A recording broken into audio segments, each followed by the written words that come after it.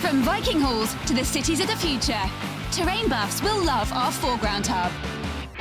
Watch gaming tables of all genres come to life at beastofwar.com. Anime cyberpunk style meets skirmish combat in Infinity. Experience eight high-tech factions and fight to control the human sphere at the Infinity Hub on beastsofwar.com. Hi guys, welcome back to What's in the Box. We're back for more Wolsung. This time we have another of the new factions. So who is it we have? These are Ven Rier agents. So Ah, so say after hello. the Great War, uh-huh. uh, the remaining uh, agents of the Ven Rier, the undead Chancellor, uh, Lich Chancellor, uh, spread out and uh, disappeared from the face of uh, the world. Uh, uh, the very uh, traces of Vanrir are unknown where he is, Okay. what he does, but now they started to appear in Lyonesse. Ah, I see. So basically this was an underground movement then. Lost the war, forced underground. We are now in hiding. And now the shadowy forces are rising once again in Lyonesse. So, uh, first up, the first thing I want to show is this, because it's one of the very important parts of this faction. So this is actually a spawn point for your undead golems. This is a device. It's called the Necrogolemic Workshop. Mm-hmm. So uh, the way uh, the Ven Rier uh, agents work uh, is uh, very different uh, from other factions in that they don't uh, buy henchmen as other factions at the start of the game, but instead they buy the devices. And devices have to be placed on the uh, battlefield before the game begins. So you have to plan ahead and think really hard where you want the attention during the game uh, focused on and uh, which objectives are the most important. Because for the most part, it is very likely you will not have enough devices to actually cover ho- the whole board. Mm-hmm. But the good thing with this is it will constantly spawn. Yes, at the start of the uh, every turn, uh, it will spawn a number of models that are written in the description of the device. Exactly, which I think is just really cool because it means, you know, the the undead are rising from beneath the streets. Yes. You know, it's, it's very very cool, If you- very cinematic. If you don't counteract it and let it run for one or two turns, then you are faced with an undead horde, Mm-hmm. and it's really hard to deal with it. Yeah, we see. I like this because of the way some of the deployment rules work in Wolsung. Because you you have your standard. Okay, I can deploy on my side of the table. I can deploy along an edge. You also have I can deploy within a building, or I can choose to deploy across the entire map. But I have to be 12 inches or six inches away from other miniatures. This gives you great storytelling abilities because you can start with your faction already built up within the city, and you're not having to spend turn after turn getting moved up and into position. That's a new thing we added in uh, the second edition. Oh, Uh, sorry, that's not it yet. It will Sorry. be. It will be in a moment. Yep. Uh, Oh, so sorry. I, I hope it's okay to mention that on camera. it is okay. it is something that we are proud of. Uh, this is an addition that uh, makes the game develop uh, in a good direction. Okay. Well, Especially because we, it is, you are not wasting the first turn Mm. to actually close to the uh, enemy. okay. Well, guys, you heard it here first. There's a sneak peek to the new second edition rules. Whoops. okay. Our next piece that we have is this. Now, what is this thing? This is an ice field generator. Mm-hmm. Uh, what it does, it is generates ice field. Mm-hmm. So this is a, a area of uh, cold, uh, Mm-hmm. which benefits undead models and hearts uh, or the living models. I see. So, in in Wolsung, I'm guessing undead like the cold. Yes, very much.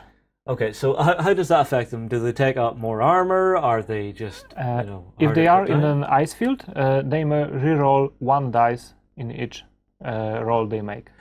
So hang on. Every roll they have to take, they get a reroll. One die One, uh, that's fine. Uh, still one Yeah. dice on every roll. on every roll.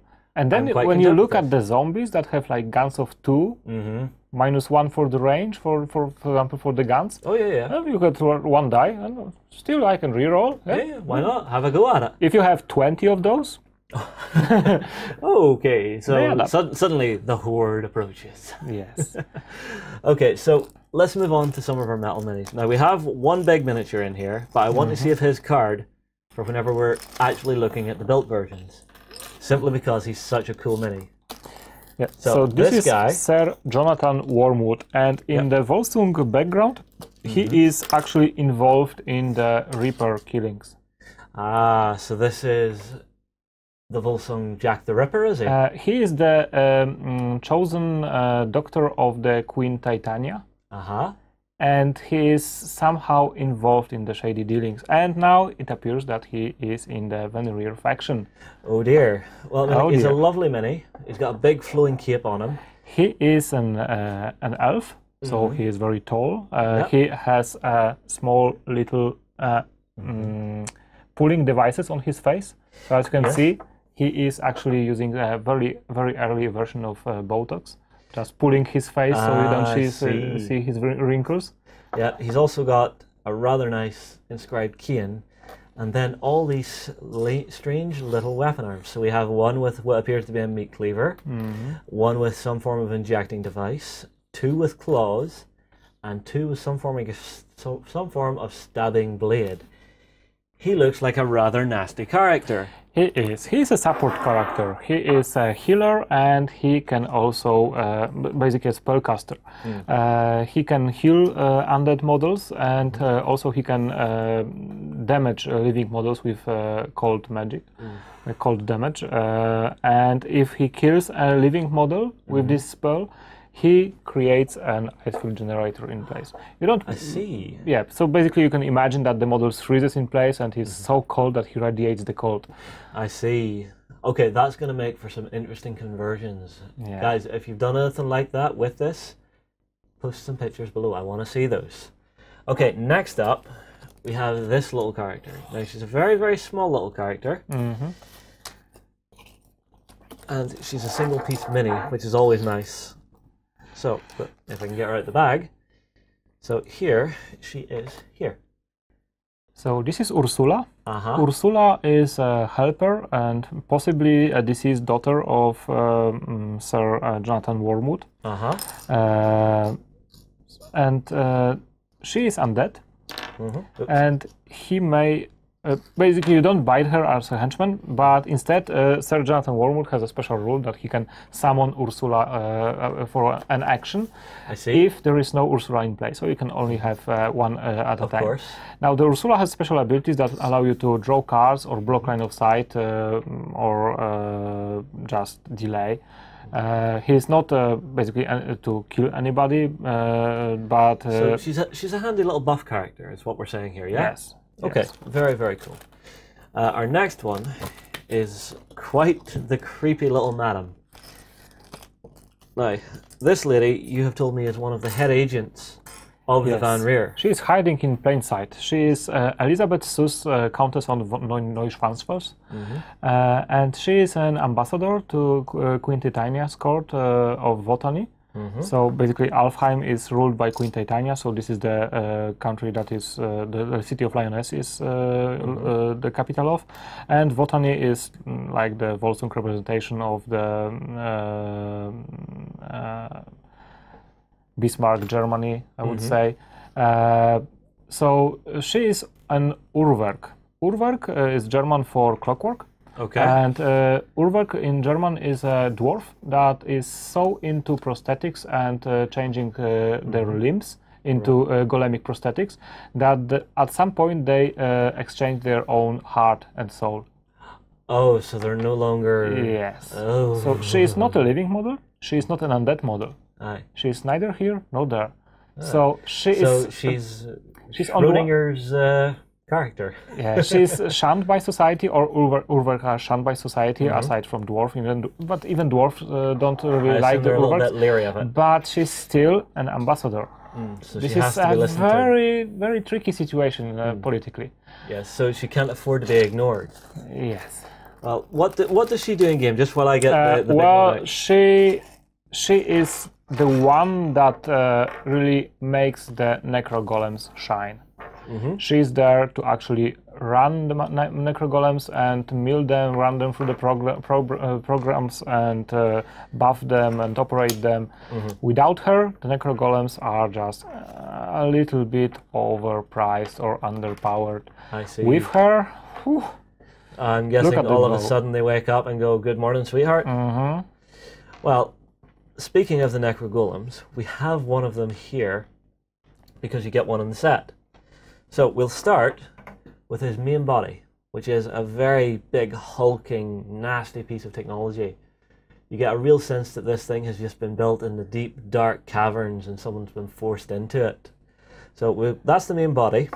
You've then got his two feet, which are very, very nice. You can have them either way, so claws forward or large claw forward. We have his two arms, which are really, really nice. They go into the sockets perfectly. Uh, we have his head, which is some poor unfortunate's skull. We then have the reverse jointed legs, which gives this thing a real sense of inhumanity, which is quite, quite creepy. We then get on to the weapon arms. So we have this, which appears to be some kind of heavy cannon arrangement. Uh, Lukasz, anything to say? Well, uh, this model uh, has is armed with uh, Sturmgewehr, uh, which is a range weapon with fast shot and quick, and uh, melee weapon that gives him uh, gruesome damage in melee. So those two ranged weapons uh, both represent the Sturmgewehr, so you can use Okay. any of them. So just add some more. Uh, uh, uh, Yep, do it. Some difference between the models, Mhm. and uh, the other two represent the uh, gruesome damage. Yeah, uh, so we have this, model. which is a three circular saws all put together with a rather nasty cutting edge on them. Mhm. We then have this, which actually takes these three claws onto it, Mhm. which makes for a very nasty stabbing and gripping weapon. You can also use those uh, leftover weapons because you can only only use two to uh, maybe convert a security golem into your gruesome uh, into your necro golem. Again, one to give in the comments below, guys. I would like to see mm-hmm. pictures of that. Okay, so we've seen the miniatures on belt. Let's go away, we'll put them together, and we'll be right back after we tell you about some hubs. Keep your blaster handy, the West is a dangerous place. Fight to survive as men turn to monsters and the dead rise on the Wild West Exodus Hub at beastsofwar.com. A world controlled by massive corporations, a steady aim and split second decisions are needed for your Megacon to complete its goals. Begin your missions at the Mercs Hub on beastofwar.com. Okay, guys, we're back with the Ven Rier, and we have them built. These are fantastic. The first thing I want to show off is the Necro Golem. Look at this guy. He is huge. He's bigger than a security golem, and he is a lot scarier. Now, I would like to see someone convert up a security golem with some of these weapons, but I think as a miniature, this thing is fantastic. We then have this gentleman, our Jack the Ripper of the Wolsung Sir uh, world. Wormwood. Yes. The weapons on the back go in really, really well. Lovely little ball joints make them work perfectly. And just the one little bit of the hand here, which just pops right in, is absolutely perfect. The one that I had a little issue with building was this little lady here. And it wasn't the umbrella or the arm, it was these two little things at the back here, which are two little smokestacks coming out of her bustle. so, like you said, she is mechanical, so I'm guessing there's a lot of uh, gears and cogs underneath that uh, that dress. Yes. We then have this, which is really really cool. I just love the look of this piece. Yeah, this is just a necro golem uh, sliding out up uh, on a lift uh, from the underneath from the Mm. Yeah, but it's, hidden. it's one of those lovely little cinematic moments that you love to get. And we then have our little summoned helper. Mhm. Beautiful, beautiful set.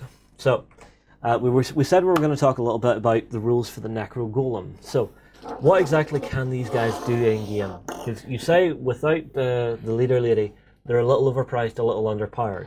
When these guys are working at their best, how nasty are they? How scared should I be? Okay, so this is a golem that can uh, both shoot and fight in melee. Uh, it is a bit uh, weaker to uh, than security golem when you compare the stats. So his armor is lower and his uh, wounds are lower, uh, but uh, he has gruesome damage. So potentially he can deal uh, more damage in melee. Uh, the, the thing that uh, does make it work is that you actually get one per turn. Yes. So if it is it if it don't die and it has hard to kill rule, and then you have Sir Wormwood who can heal it. Yeah. So and uh, the Worm, uh, Sir Wormwood's uh, spell can heal the model above the starting number of wounds. Okay, that's important to remember. Yep. So basically, Sir Worm.